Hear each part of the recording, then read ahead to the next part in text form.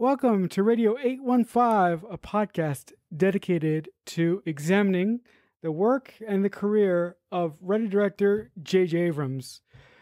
I'm your host. My name is Marcelo Nostroza, joined as always by my fellow co host Matt Crandall. And on today's edition, we're going to continue making our way through Lost Season 1. And today we're going to take a closer look at episodes 6 through eight. So with that, Matt, what did you think of uh, episode six, House of the Rising Sun? Yeah, so House of the Rising Sun, um, basically a sun sun centric episode. You know, Jin is obviously in her flashbacks as well as we get to know more about them.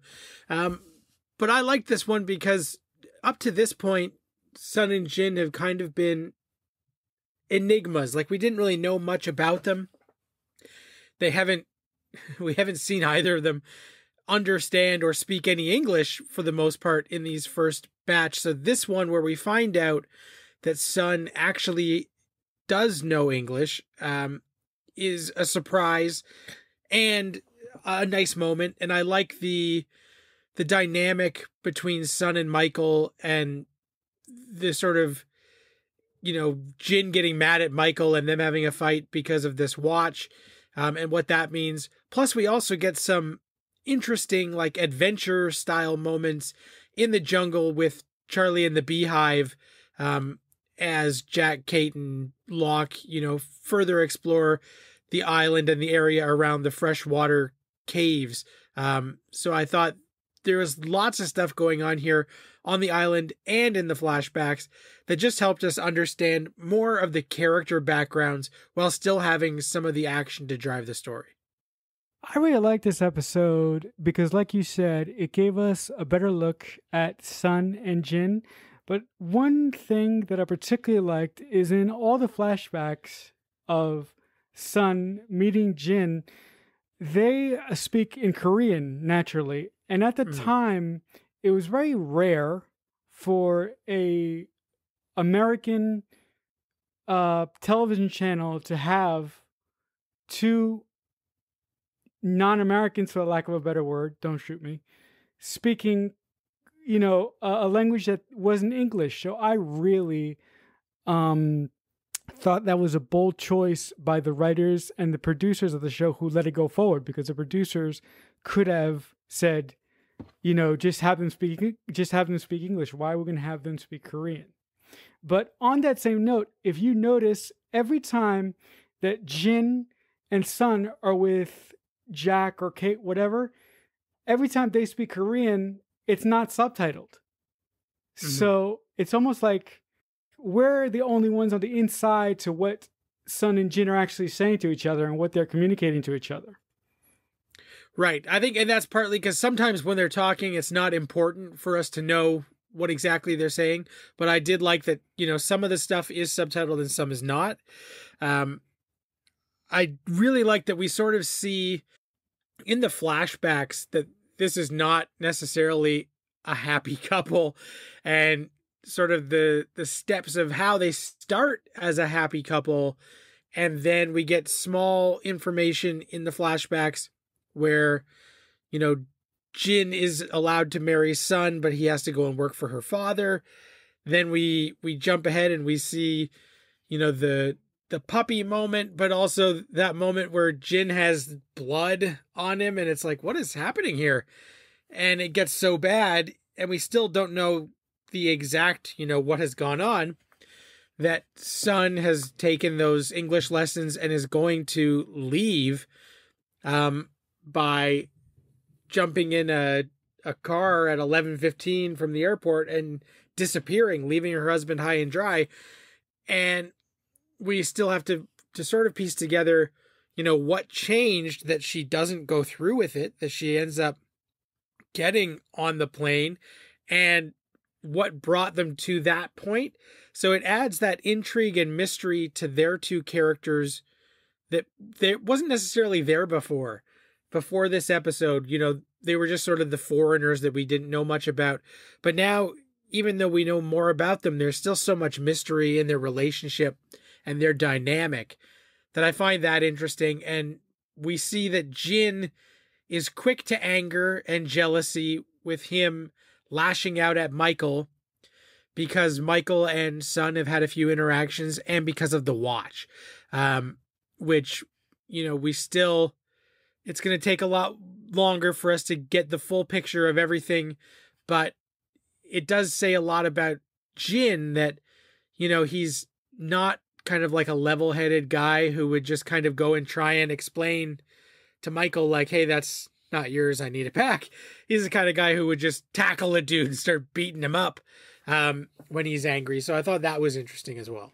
I think that because of what Jin eventually has to do to earn the good to earn the good graces of Sun's father, that sort of made him into the the man that we see today. And as the show goes along, we see him sort of revert and come become a better person, uh, so to speak. I really liked the B plot between uh, Locke, Kate, Charlie, and Jack, with them finding the caves. When Jack gets the bright idea to actually start moving people from the beach to the caves, that sort of that sort of goes against what he said a couple episodes ago, where he said, you know, if we don't learn to live together, we're going to die alone. So I don't know whether Jack wants to admit defeat at this point or whether he is finally seeing the picture and is understanding that they're going to be there much longer than they thought. What do you think about that, Matt? I don't think it's either, to be honest with you. I just think he's thinking practically to be close to the fresh water so that they don't exert themselves uh, makes more sense. And because, like, he thinks everyone should move there. So he's surprised when people are saying, like, we're going to stay on the beach. He's saying, no, like, it's not worth it. Obviously, Jack also has more information now where they find the two bodies at the caves. Um, the man and the woman and the white and black stones. Um, so he knows that, you know, other people have been here before. They haven't been rescued. Since he does know they were so far off course, he he doesn't think rescue is imminent. And he also, I think, has a feeling that if someone were to come to the island, it's not going to be like a boat passing that if they don't signal in that one instant, then they're going to be screwed. So he thinks like this makes better sense to set up a home here where we can live sustainably, comfortably, rather than on this sandy beach where we have to worry about so much other stuff. So he's kind of surprised that like some of the people don't think it's a good idea but also he because he thinks it's such a good idea he's not going to give in to the group mentality because basically he's kind of thinking like well you idiots do what you want then i guess but they kind of elected him their leader anyway, so wouldn't he think that they would sort of follow him like sheep at this point, or at least some of them would follow him like sheep at this point, or am I just thinking way too much into this? Well, he has shown himself to be a leader, but I don't think it's anything that he it's not a position that he necessarily wanted or takes pride in being. So I don't think that he would. I personally don't think he would think like, well, you guys have to do this because I'm the leader now. You know what I mean? So mm. I also I like I understand why people wouldn't want to follow his plan, and I don't think he's surprised they don't want to follow him. He's more surprised that they don't see the value in what he's offering them. The last thing that I really enjoyed about this episode is that this episode does a does a sneakily job of planting the seeds uh, of Charlie's issue, let's call it. I, I, I love the scenes in this episode between Charlie and Locke, where Locke is obviously on to what Charlie really wants, and he keeps following him in the woods and uh, around the caves.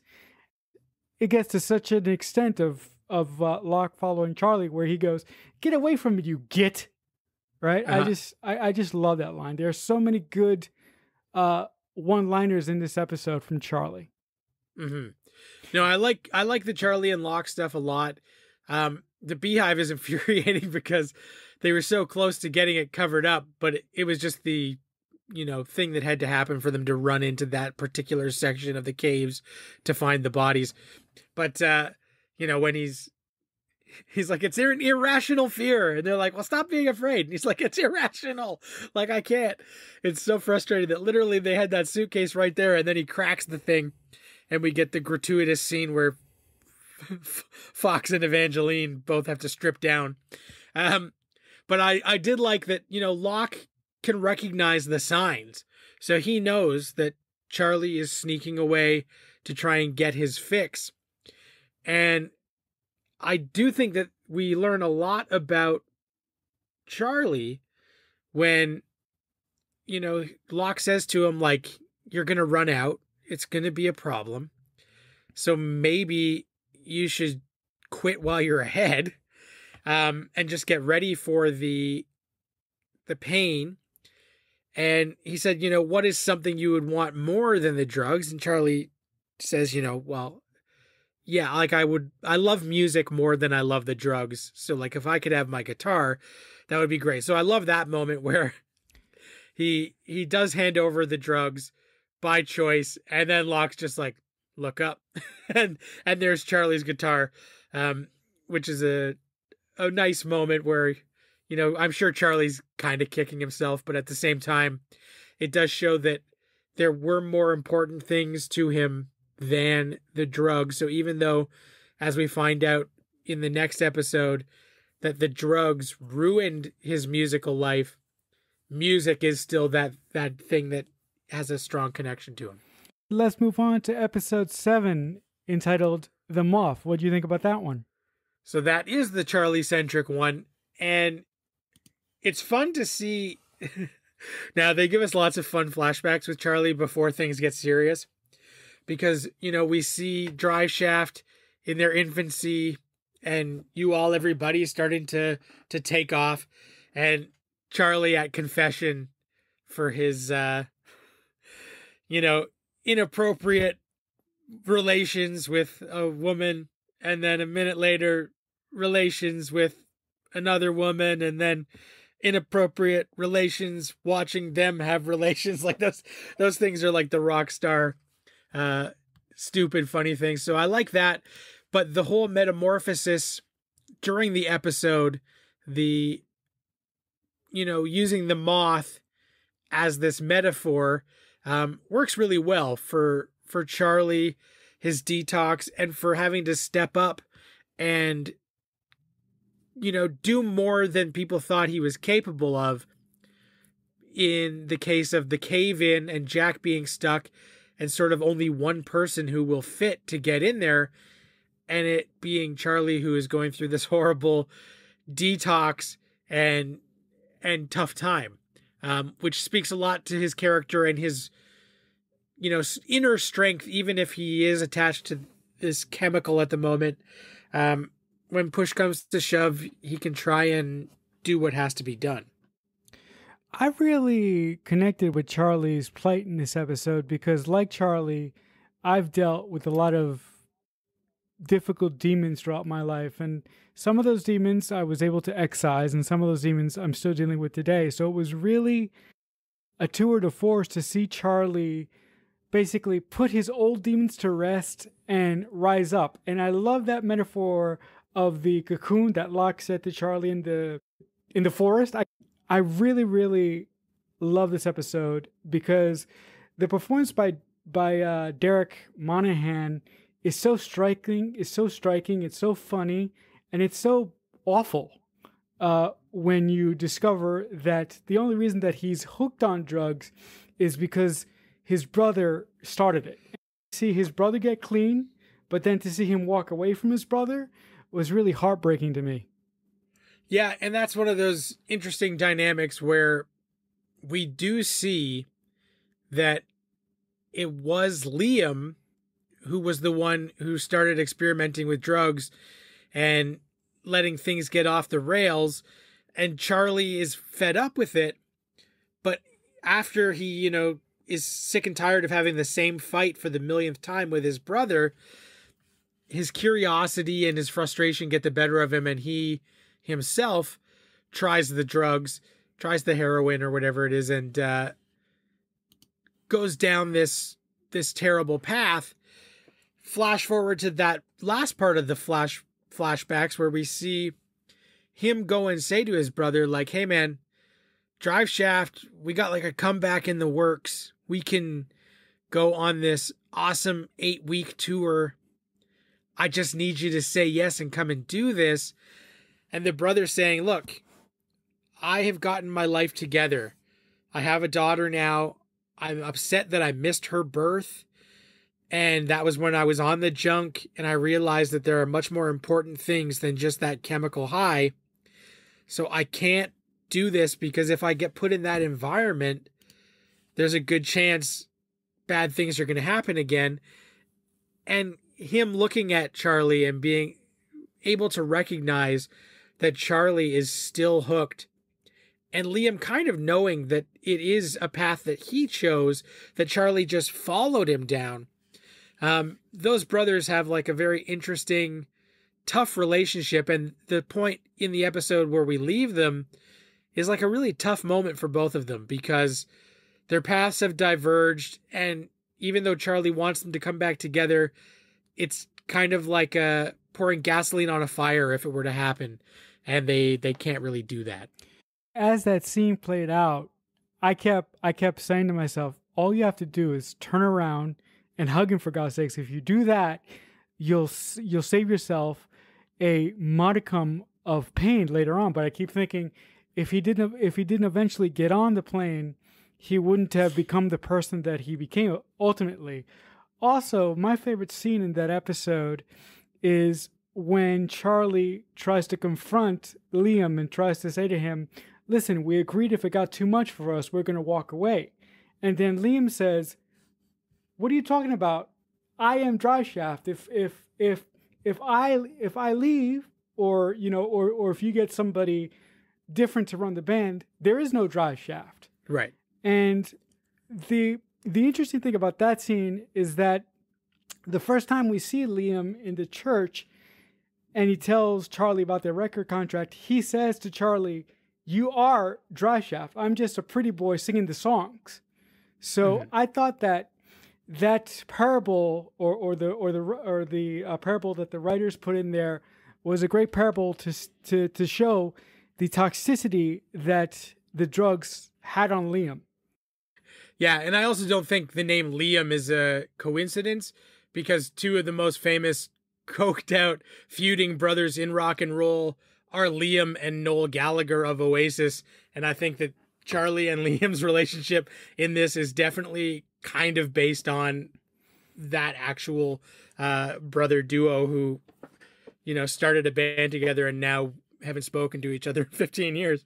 Um, the other thing with the title being The Moth and with Locke explaining about the cocoon to Charlie, um, it's it's all the themes and it is kind of like the most basic way that they literally like laid them out in the episode where he says like you know we could get the the moth out of this cocoon but the struggle is what gives it its strength. Um so it's you know not very subtle but that moment where charlie has to choose strength and and struggle by getting rid of the drugs getting into the cave, helping Jack out. And when he throws the drugs into the fire, it's him consciously saying, like, you know, he realizes this is going to be a battle, but it will make him stronger in the end. We have made it to episode eight Confidence Man. So, this is actually one of my favorite episodes, probably of season one. Um, I'm not going to declare it like my favorite, but you know, certainly top top tier. Um, partly because I always have found Sawyer to be a very interesting character because he's such a dick that you're like, man, like why is this guy such a dick? And in this, you know, people jump to conclusions about him right away, thinking that he has Shannon's inhaler because of basically hearsay you know, they happened to see him reading a book that was with her luggage. he won't give them the inhalers, so they end up torturing the shit out of him. Um, he almost dies because Sayid stabs him. Like, it's a rough episode for him. But also in the flashbacks, I, I really like that the flashbacks take a surprising turn. Um, where we do see Sawyer as the con man running his game, and every flashback is about how invested he is in the con, how easy this con is for him. He owes money. Don't worry about it. I got this con locked up. And then in the final flashback, when it comes to the exact moment where he's about to succeed in the con, that kid walks in and he says, Deal's off. It's over. And he leaves and he leaves his briefcase and their briefcase. Like he just walks out, washes his hands of it. And it's like, okay, what, what happened?